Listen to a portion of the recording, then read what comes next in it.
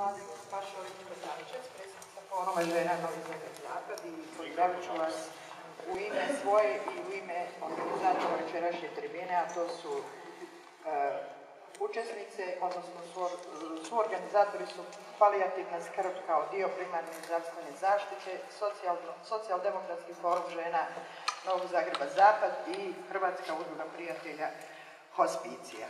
Hvala vam što ste se odazvali u ovolikom broju, do duše, da nije ovako vrijeme, pretpostavljam da bi nas bilo znatno više.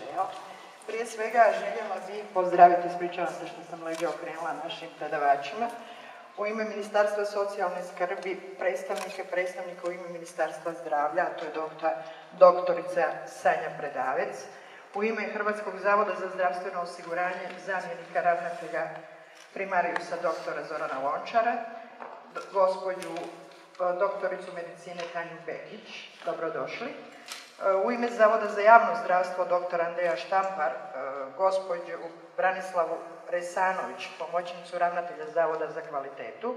Dobrodošla.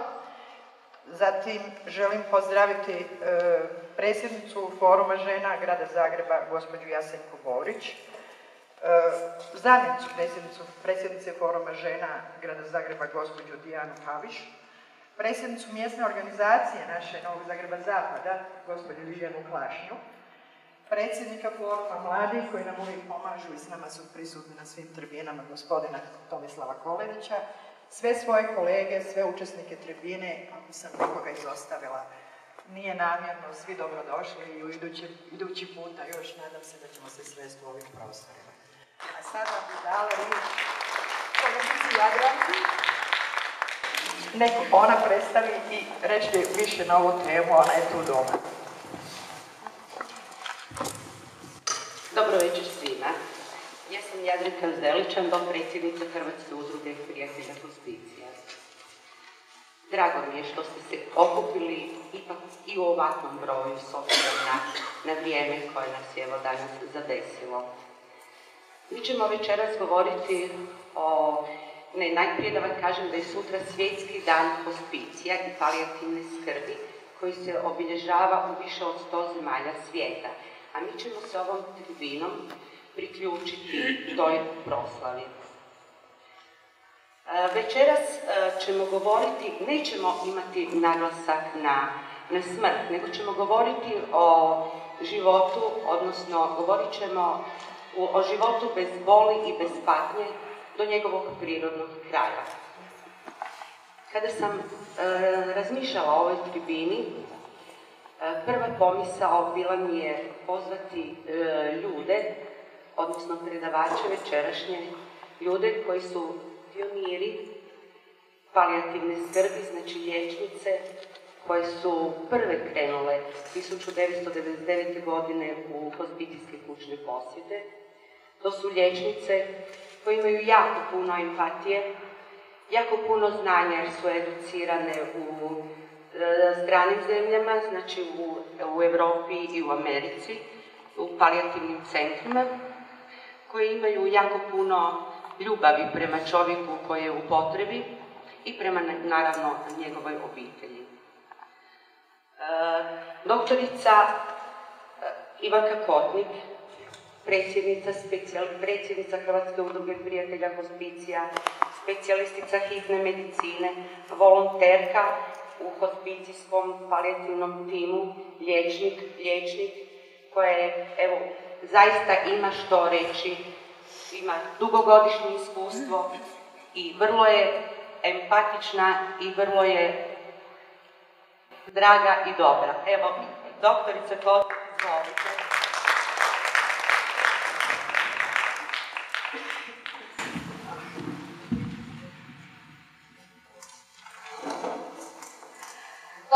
Mene je zapala e, ugodna i teška dužnost da vam e, predočim naših e, sada već 13 godina postojanja udruge, koja je dakle osnovana davne 1999. godine, a kao što vidite postoji još i danas.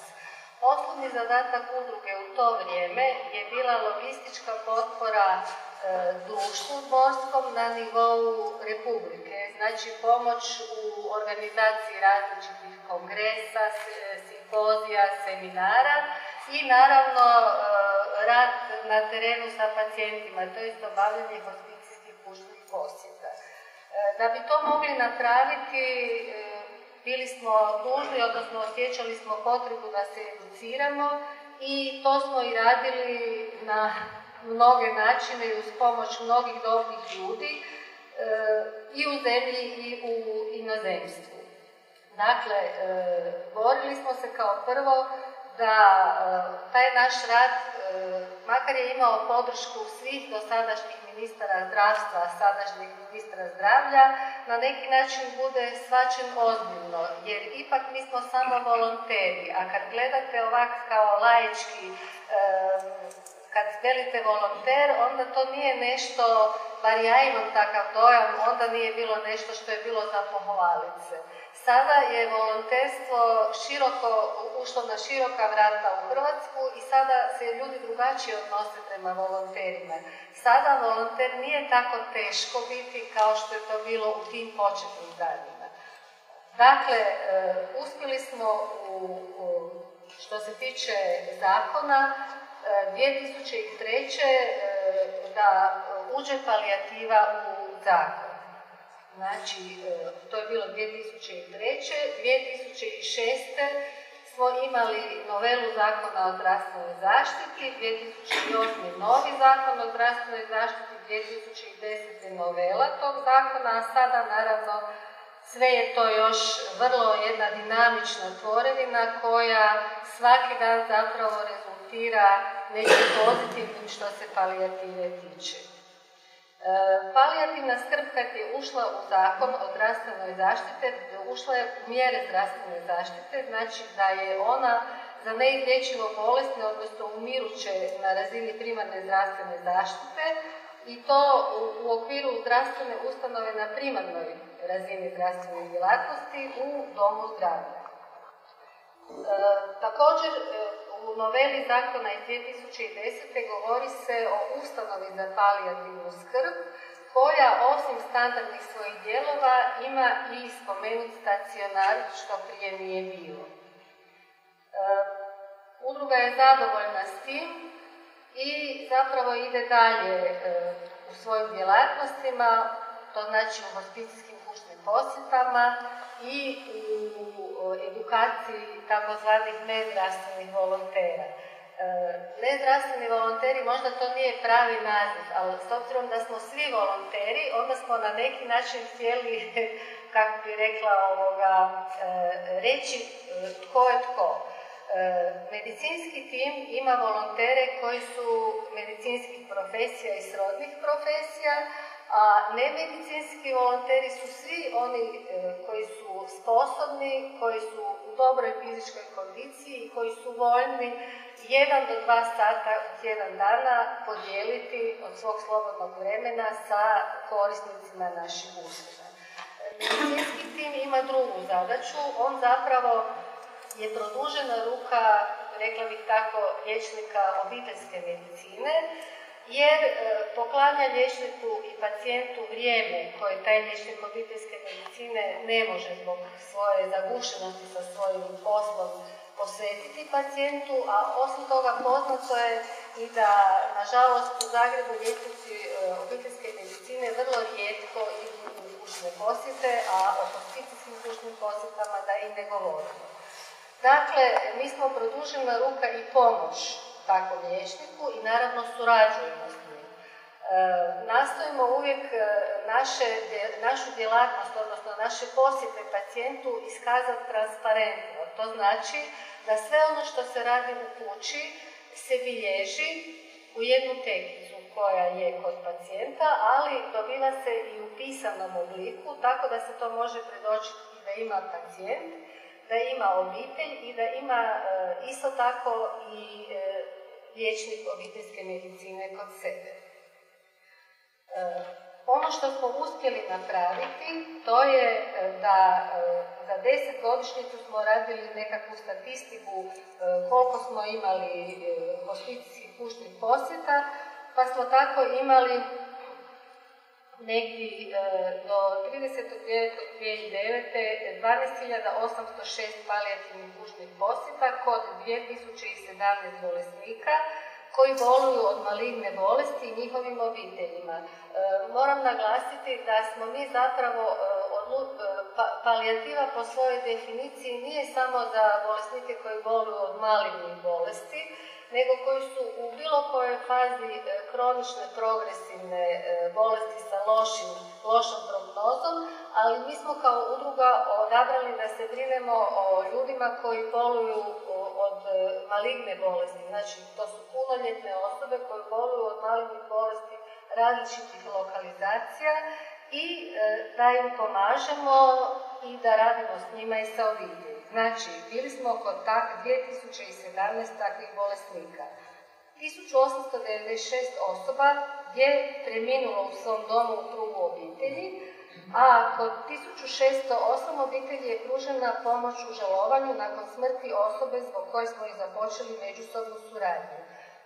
Značajno je to da smo primijetili da e, e, u većini onih obitelji e, i bolesnika kojima smo dolazili u kućne posjete, da su se oni češće odlučivali, odnosno nisu bili toliko prestrašeni da njihov član koji je obolio umre u kući okružen obitelji, da nisu žurili da ga se odvede u bolnicu, nego da su na neki način prihvaćali savjet, da su prihvaćali pomoć, da i da su zapravo bili svjesni da na taj način rade najbolje što mogu za svog bolesnog člana. E, to je nekad jako teško, e, ali e, vrlo je važno u takvim situacijama razviti međusobno povjerenje, biti pristupačan, nenametljiv i zapravo sve probleme nastojati rješavati onda kad se dogode ili ako bi se predviđa se da bi se neka komplikacija mogla dogoditi, upozoriti obitelj, jer obitelj se onda osjeća sigurnije i onda lakše zapravo e, usmjerava u pravom putu se. E, također, e, nakon preminuća tih osoba, kao što sam rekla, u 1608 obitelji pružena je pomoć u žalovanju. imali smo dvije psihologinje, sada je jedna psihologinja koje zapravo e, rade sa onima koji, čije je žalovanje produženo ili e, ne mogu reći neadekvatno, jer svako žalovanje je žalovanje, nego jednostavno koji trebaju pomoć. Trebaju pomoć da e, se oproste sa onim koji je otišao i da krenu dalje sa životom. Tako da naše psihologinje su kontakte i pružile pomoć posebno e, djeci koja su izgubili e, roditelje na tako jedan težak način, e, da prebrode sve što se događa i moram na neki način reći da je naša psihologija specijalizirana u tom smislu, ali ovoga, i u drugim pomoćima što se žalovanja tiče.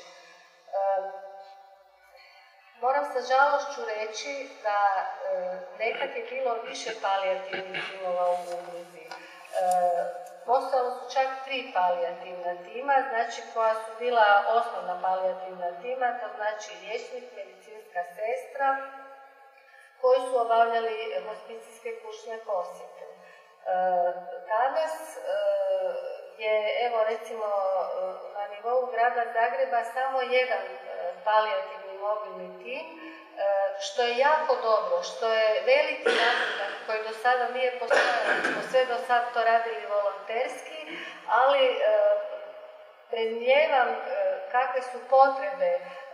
Zagreb je centar, broj bolesnika koji oboljevaju od karcinoma raste. Svi dolaze se liječiti na neki način, na neke terapije, na neke preglede u Zagreb. Znači, jedan palijativni tim jednostavno neće to moći sve izdržati. Predviđam zapravo da zbog potreba će biti potrebno isto bar tri palijativna tima, makar e, potrebe su velike, a zapravo e, malo je onih koji mogu, e, mogu osigurati ne znam, novčana sredstva, ljude i ostalo za to, a i to je zapravo na neki način težak rad koji nakon nekog vremena rezultira jednostavno jednim burnoutom, jednim osjećajem jednostavno da se ne može više raditi to. I čovjek zapravo bi trebao na neki način dobiti neku pauzu da se na neki način obnovi svoje snage, da dobi nekakvu isto i članovi tima psihološku pomoć da bi dalje mogli nastaviti u, svom poslu. Sada u ovo vrijeme udruga ima smanjen broj timova, zapravo jedan je tim, onda ima smanjen broj zapravo svih. I, ali zapravo događanja cijelo vrijeme postoje, ljudi koji nas zovu, ekipa nastoji maksimalno odgovoriti na to. Ako ne možemo, sad hvala Bogu imamo suradnju ovoga palijativnog tima u Domu zdravlja u Runjaninovoj, pa ipak imamo nekakvu pomoć, ali ipak mislim da bi zapravo ovoga, trebali se na neki način e, ekipirati i da bi trebali svoja znanja prenijeti e, mlađoj generaciji. Ja vjerujem da se kolegica slaže sa mnom, e, jer e, jednostavno se osjećamo neiskorišteno u ovoj situaciji. Mi radimo svoj posao, ali htjeli bi prenijeti naša iskustva i naša znanja mladima, jer mladi mogu samo nastaviti ovo što smo mi krenuli, ali zapravo mogu i unaprijediti i poboljšati sve ovo što smo mi do sada radili, tako da se nadam da će nas nastojati iskoristiti na taj jedan način naše znanje i naše iskustvo, e, jer mislim da je to potrebno. E, ono što Zagreb zapravo e, ima od palijative je ovaj snažan rast što se tiče teorijskog dijela, snažan rast koji je vrlo potreban, koji je jako dobar, ali e, mislim da ono što treba ljudima e, nije toliko teorija, makar moraju biti informirani o onom što im se događa, nego mislim da im treba puno onih koji će biti uz njih, koji će im pomagati u njihovim najtežim trenucima. To je ono što o udruzi bi vam ja htjela reći. E, želim vam reći još da imamo tečaje za te da spomenete nezdravstvene volontere dva puta godišnje. E, oni dobivaju potrebnice, oni sada su dužni potpisati volonterski ugovor, oni imaju svoje e, značke sa kojima ulaze u domove, mada vrlo rijetko sad ulaze u domove, e, jer zapravo više se educiraju u domu umirovljenika. A mislim da je sad ta populacija koja će se educirati, ti e, volonteri u hospicijskim kućnim posjetama, onaj dio e, populacije koja će biti jako tražena kada ovaj praktični dio palijative krene više u našu zagrebačku hrvatsku stvarnost, e, tako da mislim da su jako potrebni da treba poticati tako nešto i da zapravo treba ljude vraćati na neke zaboravljene vještine. To znači e, da dodir ruke, e, nekakav razgovor e, koji ne mora biti jako pametan, ali koji može pomoći bolesniku, nekakvu šutnju uz bolesnika, jer e, naši ljudi zapravo još nisu naviknuti kad je čovjek bolestan šutjeti uz njega. Jer i šutnja nekad znači tu sam, ne brini se, neću te zamarati mojim govorom, mojim razgovorom, ali tu sam, ne boj se, nisi sam, nećeš ostati sam, bit ću uz tebe do kraja. Pa evo, recimo, možda bi završila sa ovim što je nama glavno, sa riječima Dame Cicely Saunders, vi ste važni jer ste to vi i bit ćete važni do zadnjeg časa vašega života.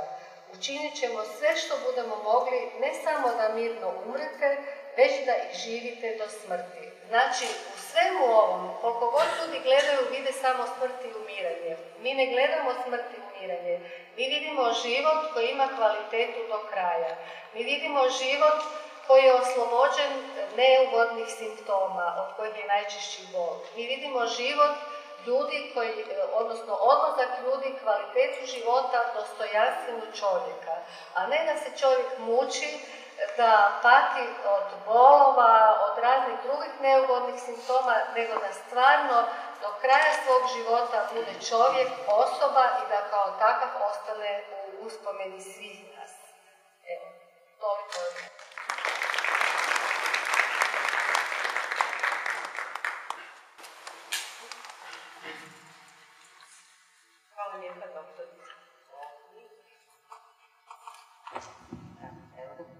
Hvala lijepa, doktorice. Ovo ste e, vrlo lijepo rekli, udrugu ste predstavili.